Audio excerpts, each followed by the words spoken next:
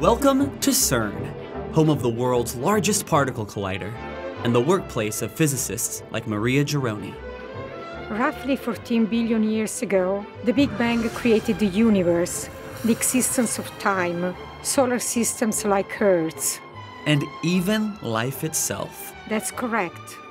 Today, physicists at CERN are recreating conditions similar to those just after the Big Bang in hopes of answering the many mysteries of the universe.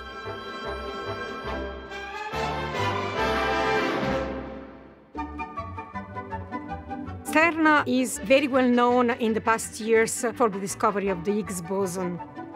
This discovery led to a Nobel Prize for Francois Englert and Peter Higgs. And it's all thanks to the Large Hadron Collider, the largest machine on Earth. But wait, what exactly does a particle collider do? Imagine that the particles are tennis balls. And those tennis balls are launched at near the speed of light from one side of the galaxy before colliding into more tennis balls coming from the other side of the galaxy. This creates conditions similar to those of the Big Bang.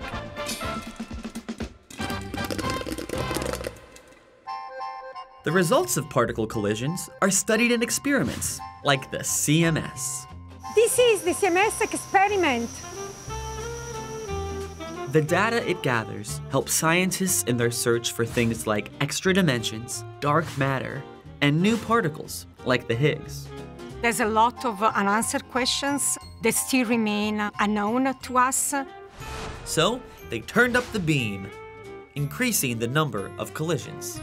Billions of collisions happen each second, which generate a huge amount of data. That huge amount of data needs to be processed and fast. Before it's lost forever. This is Steve Pawlowski from Micron. Micron and CERN are working together in a public-private partnership called CERN Open Lab.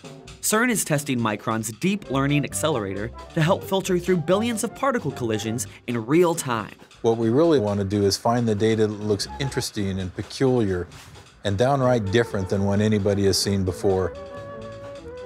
Some of the greatest scientific revelations come from unexpected results. Penicillin, the microwave, chocolate chip cookies were an accidental invention. The CMS experiment was one of the two experiments which uh, discovered the Higgs boson. Who knows what we will find next?